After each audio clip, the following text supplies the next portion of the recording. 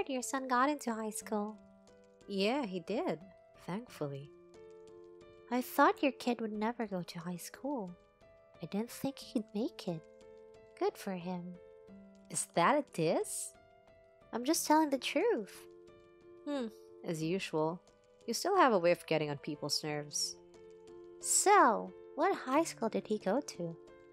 Well, your kid's an idiot, so I'm sure it's a bottom of the barrel school. I guess my kid's an idiot, so he's going to go to one of the hardest schools in the country.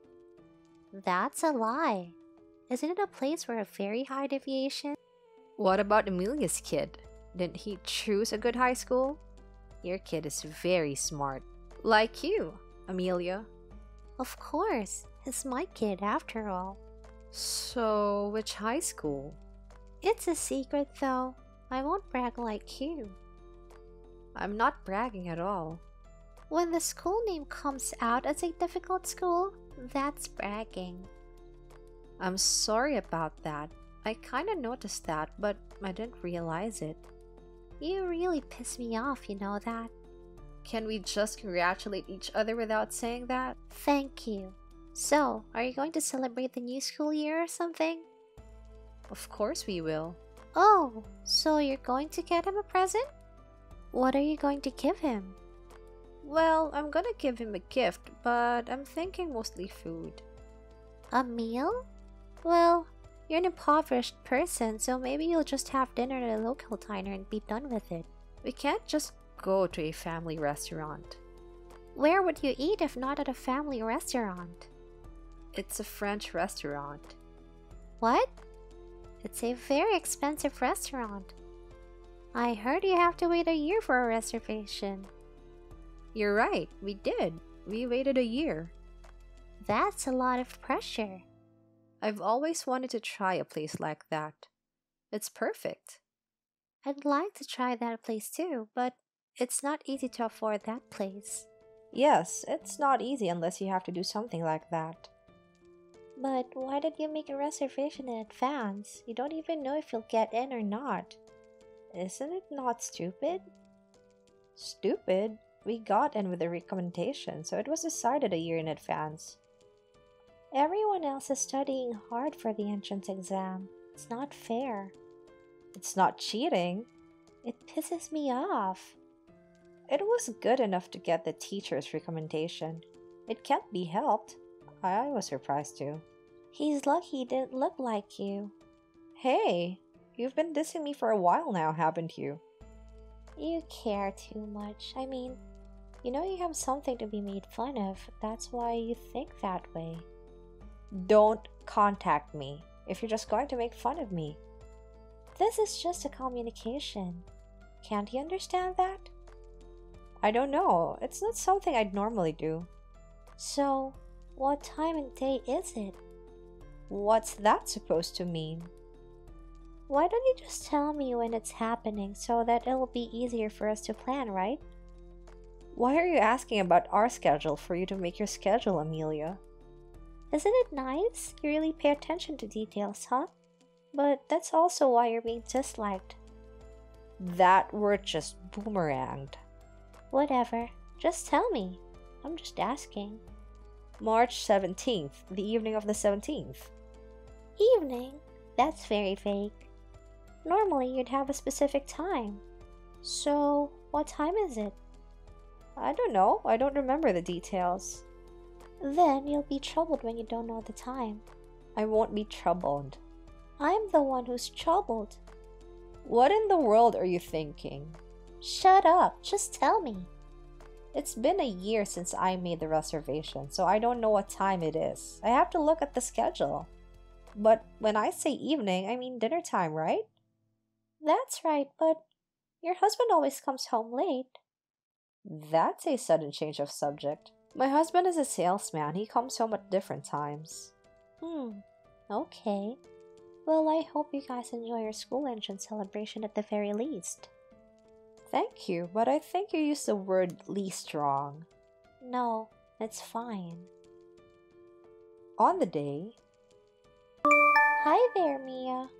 We used the reservation you made a year before and they let us in under your name. It's so good, and everyone was so happy.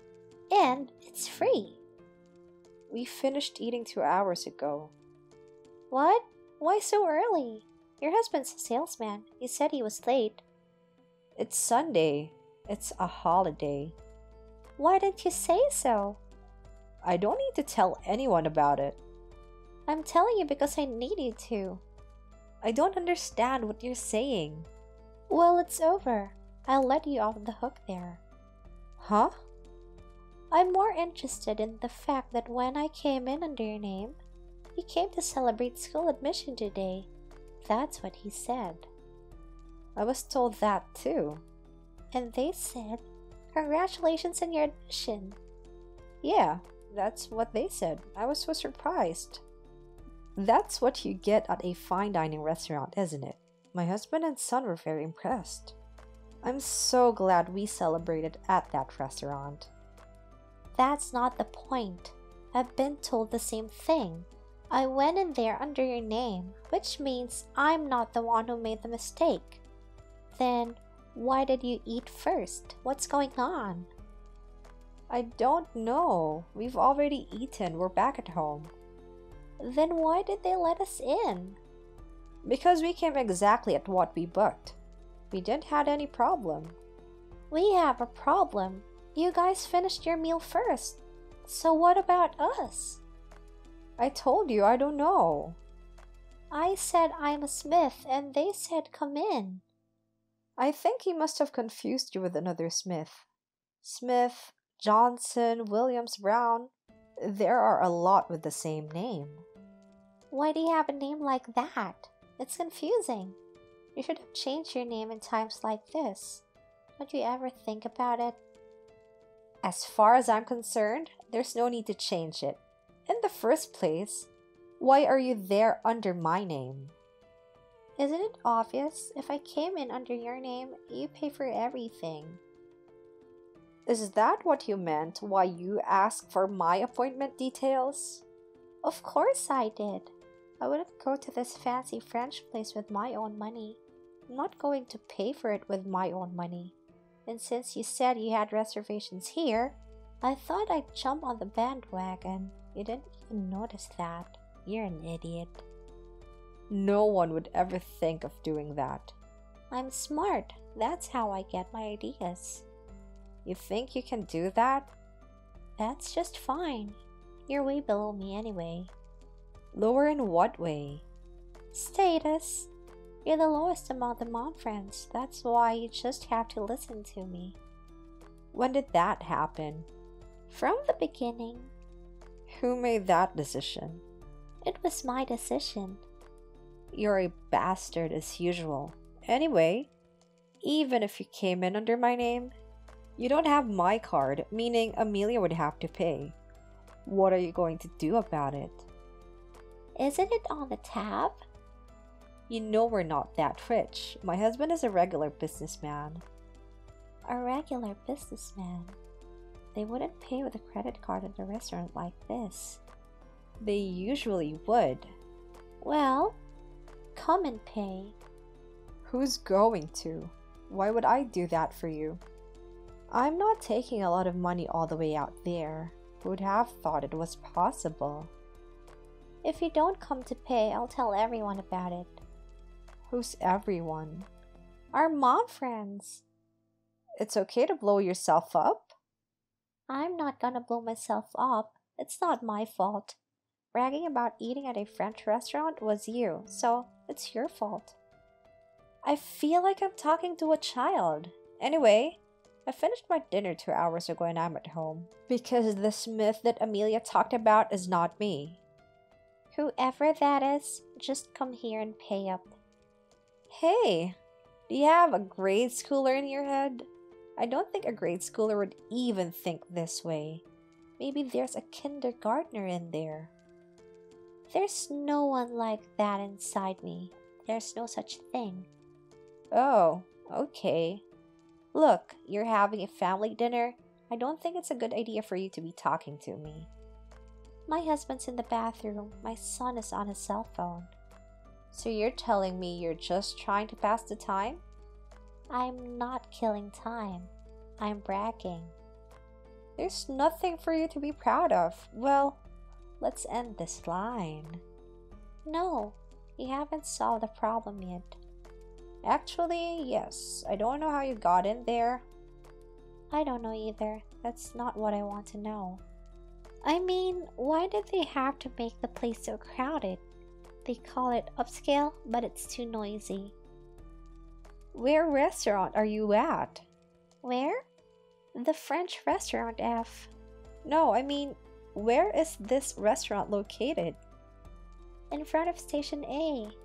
Oh, I knew it. What? I made a reservation at the one in front of Station B. Station A has a lot of passengers and a lot of customers. So I made a reservation at the one in front of Station B. Oh, so that's what this is about. What? Not here? Looks that way. It's confusing. I thought it was this restaurant. Then why didn't you say B station in the first place? I told you it's not my problem. There's no need to tell you, Amelia. If you'd have told me, this wouldn't have happened. For example, even if I had, we finished eating two hours ago, meaning you couldn't even get in. Still, if it's the one you ate at, me was supposed to pay. My plan would have pushed through. This is so disgusting, it's making me dizzy. But then again, another Smith was going to have dinner to celebrate her entrance into school too? Smiths are all so cool. Why are you like that? You put 100% of what you do on the shelf. Anyway, this is all because of your confusing name. It's your fault, so you should be paying for this place. I'm telling you, that's not going to happen. I didn't make that reservation. I didn't eat there. I don't know anything about that. Don't tell me what to do. You pay. I won't pay. If you don't do it soon, my husband, he'll come back. You and your husband will have to settle that. Oh no. If you don't pay, what will happen to the bill for this place? Like I said, you guys ate it. You have to pay for it yourself. I can't do that. That's impossible. It's okay. I don't know what corset another Smith was ordering. The most expensive course is 20,000. That's about 60,000 for the three of you. That's not all. We thought it was free, so we ordered a lot of wine and cake. You are so screwed. That's why I need you to come pay for it. I don't have that kind of money. If he comes out, he'll be pissed. I think he should be pissed. It's not good. Just hurry, come and pay this. If you don't pay up, I'm gonna tell all our mom friends, and then you'll be ignored by everyone. And I'm sure your husband won't be able to go to work. Well, why is that? If I tell the neighbors, Mia's husband's company will find out.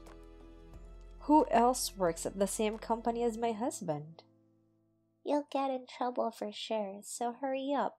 Come and pay this. A few days later. Oh my god, what's going on? Even if you suddenly ask me what's going on, what's going on? Don't answer a question with a question. You made my husband mad at me. Now you're blaming me again. Just because your husband got mad at you, you can't be mad at me just because he's mad at you. Anyway, it's impossible to say it's my fault. It's because of you. It's your fault for saying unnecessary things to my husband. What are you talking about? About the other night at the restaurant. Restaurant? Oh, okay. That one. The other day I bumped into Amelia's husband. He asked why I hadn't paid the bill. He thought it was my treat for you guys a French dinner to celebrate. So I just told him the truth. Why would you say that? He was so happy that you gave my son a gift for starting school. I had no intention at all of treating you guys to a French cuisine. I just told the truth. That day we ended up with a bill of a thousand dollars. He paid it. That's good. That's not good at all. He's been so mad at me since then. And he said that since he paid the bill, he wants me to buy him a thousand worth of golf equipment. Oh my. My condolences. It's your fault. You buy it for him and give it to him. I don't understand you. It's Amelia's fault for trying to get free dinner with other people's money. Why don't you buy a present for your husband? We don't have that kind of money. I don't work. My husband only gives me enough money to live on. There's no way I can afford a thousand dollars. Then why don't you work? You have a big kid. It's a waste of time to stay at home. I don't like working. You're so selfish. What are you going to do about it? I don't know. My husband won't talk to me. The house is freezing. No matter how much I cook him his favorite food, I can't even get a smile out of him. And yet, he wants his thousand dollars back. I'm a mental wreck. Oh my, Amelia is so mentally fragile that it crumbles. I didn't know you had it in you. You always talk about how you're going to push people down. I thought you had a hair on your heart. What do you think I am? It's your fault. You got what you deserved.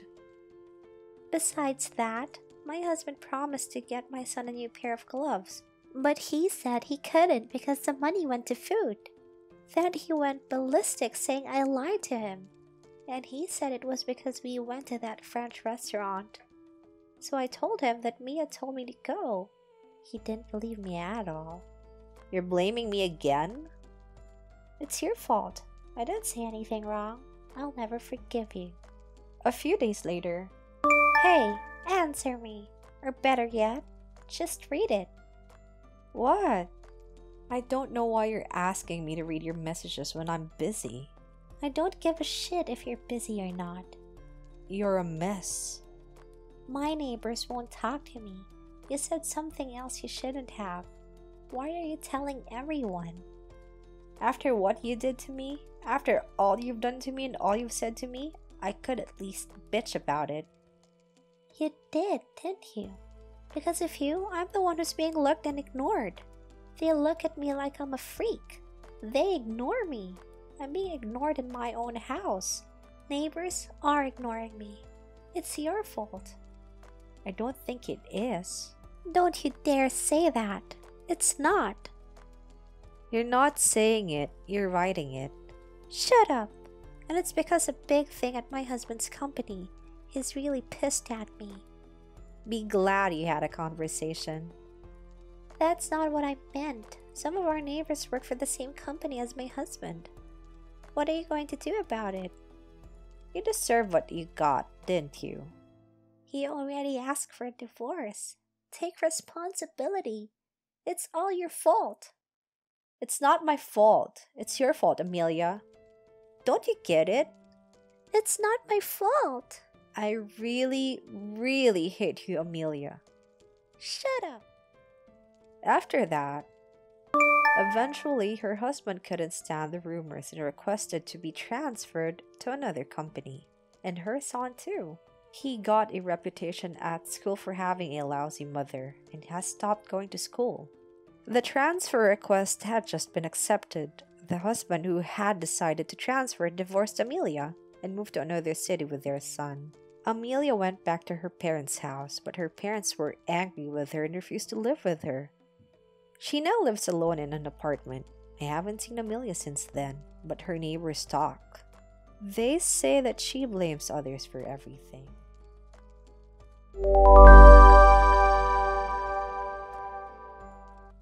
Next episode My name is Sophia. I got a job after high school. After five years, I married my husband, whom I met at a company I worked for. Three years after I married my husband, my son was born. Surrounded by my husband and my beautiful son, I was living a happy life.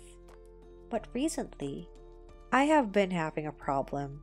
and It was a friend of mine, Emma, who also has a child the same age as my son. Emma is always late. She has never been on time for an appointment. When I first met Emma, she was only five minutes late. Recently, she has been arriving up to an hour late. Today, while I was having lunch at work, I received a call from Emma. Hey, Sophia. What are you doing? It's my lunch break, so I'm having lunch. I see. What are you doing right now, Emma? I'm watching a drama. Drama? That's nice. I'm really into these foreign dramas that are all the rage these days. The actors in those dramas have these cool nose waxes. It's so cool. It's cool, isn't it? But that's not what I wanted to talk about. I called Sophia because I had a question to wanted to ask you. You wanted to ask me something? That's right. We're going to a cafe next time out with the moms, right? What time is the meetup? We'll meet at 10 o'clock. Oh, 10 o'clock. Okay, okay. William's mom, who made the reservation for us, said if you're late, you won't be allowed in. So please be on time. What?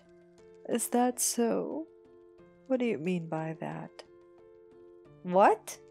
You make it sound like I'm always late. I didn't mean it that way. I don't think so. You're really pissing me off. I don't mean to be late. I'm always on time, but my secretary is a jerk. That's why I'm late. Okay. I'm sure you, Sophia, knows exactly how I feel. I'm the one among mom friends who have no sense of style at all.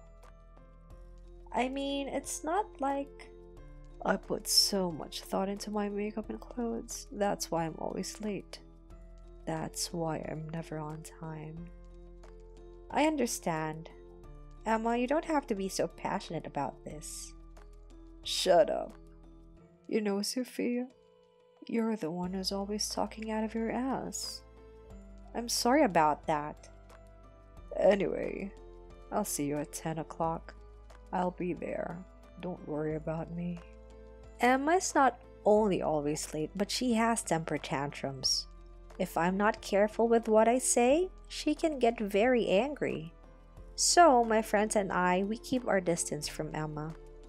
However, the friends who have distanced themselves from Emma before suffered from Emma's angry line attacks and even refused to turn in printouts.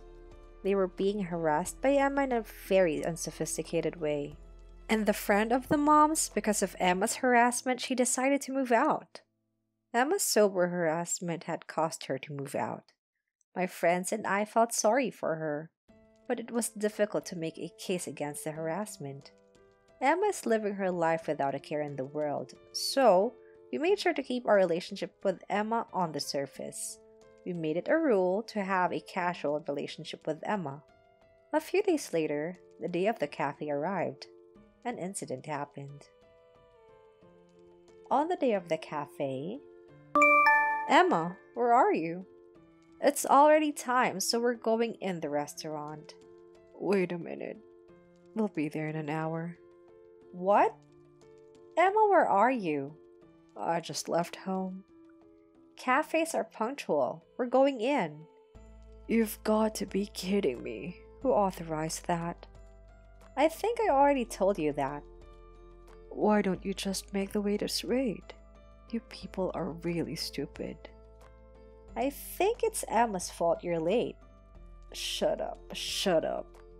I have a lot to prepare for. It's not like we're a poor family. I'm sorry to hear that. One last piece of advice, Sophia. Go talk to William's mom and negotiate with the waitress to wait for me.